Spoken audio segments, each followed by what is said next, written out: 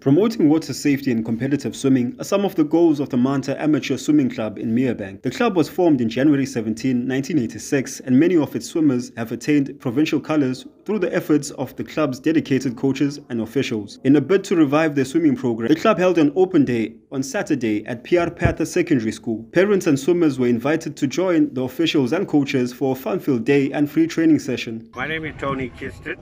We are here at Manta Swimming Club at PRP Secondary School that's in Merebank.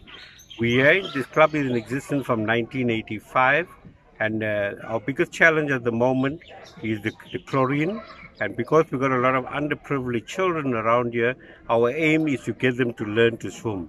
The idea is not to become professional immediately, but what our aim is to just to get them to learn. Once they learn to swim, and then we'll take it up from there.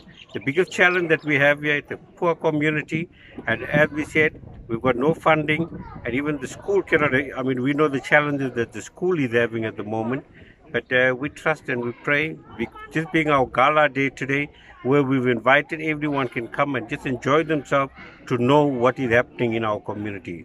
And also, we are on Facebook. We are on All Things Merebank. If you want to follow us, we are available. And I want to thank Rising Sun for giving us an opportunity, for giving us a coverage.